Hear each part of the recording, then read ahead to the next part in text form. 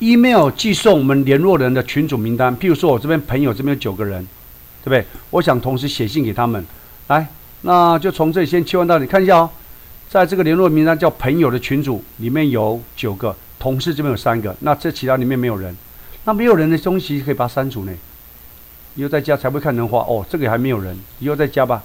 这个群组名单是可以删除的建立。现在有朋友九个，同事三个，来写信的时候点这里的 email，我写信给那九个人喽。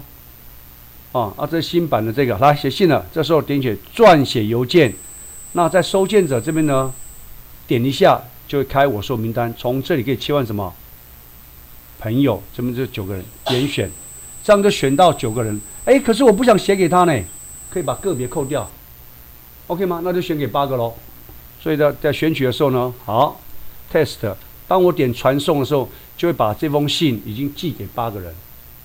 哦，再看一下，其实群主写信嘛，当你有名单的时候呢，联络名单点起来，这是我想写写给谁？写给同事的。